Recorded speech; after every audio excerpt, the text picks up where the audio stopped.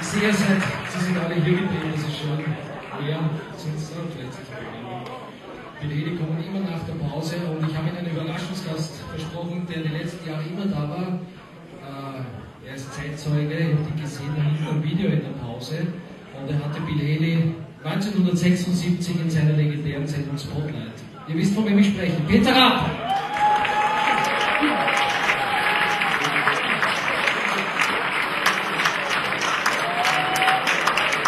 Danke. Wow. Sie freuen sich nur, dass ich noch lebe. Der, der Michael Pefer, also jedes Jahr sagt er, geh komm vorbei, kannst was trinken, ich lade die ein, schau ein bisschen zu. Wenn ich dann da bin, sage geh bitte moderieren. Das ist, glaube ich, der einzige in Österreich, der nicht dass ich immer Licht ins Dunkel mache. Aber man sollte ihn einsetzen bei der Griechenlandhilfe. Offenbar hat er gewisse Überredungskraft. Ähm, ich sehe einige in meinem Alter, kaum ältere, kaum ältere, und versuche den Leuten auch immer wieder klar zu machen, dass wir in den 60er Jahren mit dieser Musik, aber auch mit unserer Haartracht die Gesellschaft verändert haben. Wir sind also wirklich die Rock'n'Roll-Generation. Gut, heute haben wir die Haare nicht mehr am Kopf, sondern sie wachsen bei den Ohren raus. Aber deswegen hörst du auch nicht besser. Du schaust zwar aus wie Lux, aber hörst nicht besser. Ähm, heute hat wieder einer gesagt, jetzt glaube ich rausgekommen, 1376, haben sie ein paar 10, sage ich ja 32, aber die brauche ich selber. Also, die Jahre kommen. Uns hat man noch Schlurf genannt, ne, wegen dem Wackeln. Wissen Sie, dass Schlurf eine Bezeichnung aus der nationalsozialistischen Zeit war? Kein Schmäh. Und zwar waren es diejenigen, die Swing gehört haben und sind deswegen sogar verfolgt worden. Das wurde verboten. Und es waren auch einige im KZ. Und uns hat man dann später immer noch Schlurfs genannt. Das haben wir gern gebraut zum Beispiel. Ähm, ich habe Gamla Vaché, ja, das ist meine Lebensphilosophie. Aber äh, ich habe halt meine, heute hat mich meine Tochter begleitet, die ist 18. Und wie der heraus hat, Why must there be a teenager in love, hat sie mich angeschaut und gesagt, Mortimer Schumann. Und wissen Sie, wann der Hit war? 1959. Aber sie hat durch Zufall in meine Spotlight-Sendung gesagt, mit dem Mortimer Schumann, so wie ich jetzt gerade die alte Spotlight-Sendung mit Bill Haley gesehen habe, die Jahre rollen zwar über uns drüber, aber diese Musik hält uns auch noch irgendwie jung. Und ist mir.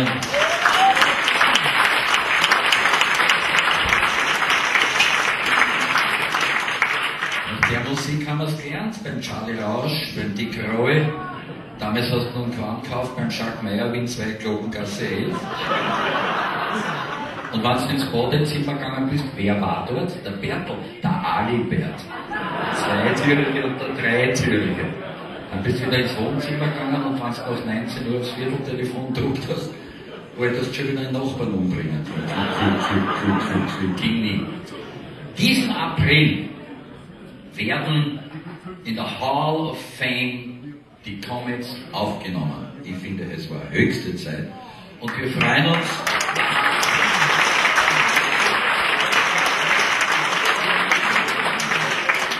Und mein Liebling, und wegen dem sind ja wohl die meisten, da ist der Schlagzeug, nicht der, Joe, aber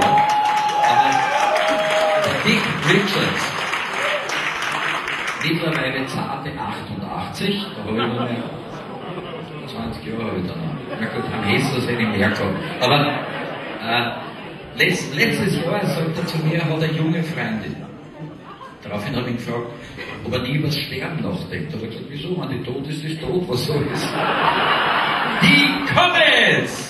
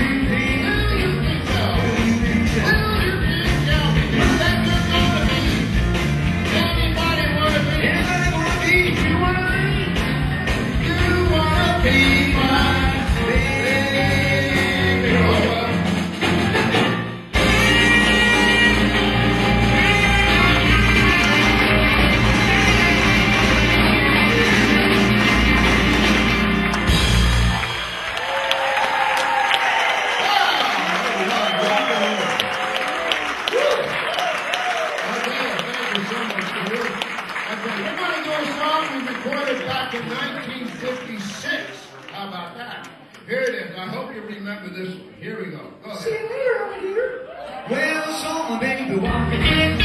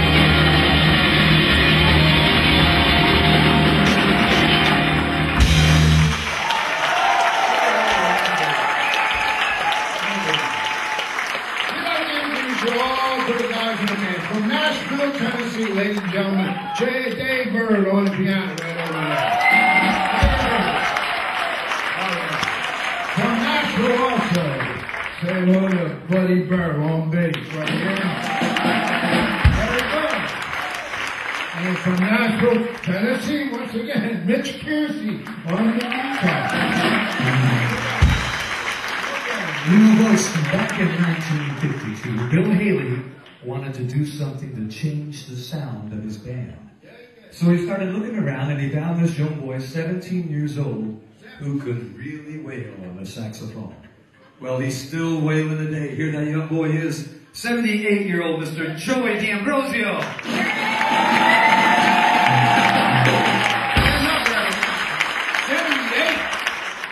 And he's at the age now that when a girl says no, he says, Dankeschön. Dick Richards, 86 years young, folks, right back here on the drum.